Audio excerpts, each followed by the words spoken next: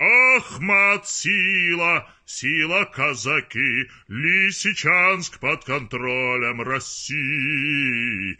Победил снова русский солдат, Лисичанск под контролем России.